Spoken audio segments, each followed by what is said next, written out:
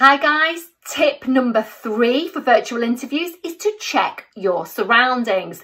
Please make sure that your room is clean and tidy with no visible clutter. Whilst assessors shouldn't take into consideration your background, it is a reflection of you and your personality. Therefore, it should be neat, clean and tidy and look professional. You don't want the assessor focusing on what's going on behind you and not focusing on what you're saying.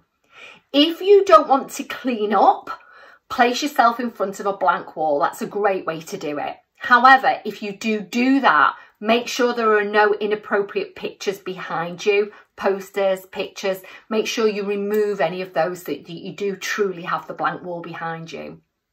Finally, an absolute no-no is do not ever, ever do an interview from your bed. Now, I know for some people, the only quiet space that they have is in their bedroom, but your bed must not be in shot. It is probably one of the most unprofessional things that you can do is either film from your bed or have your bed in view. So again, if, if that's something that you can't avoid, make sure you position yourself in front of a blank wall. Again, you want the assessor focusing on you and not what's going on in the background.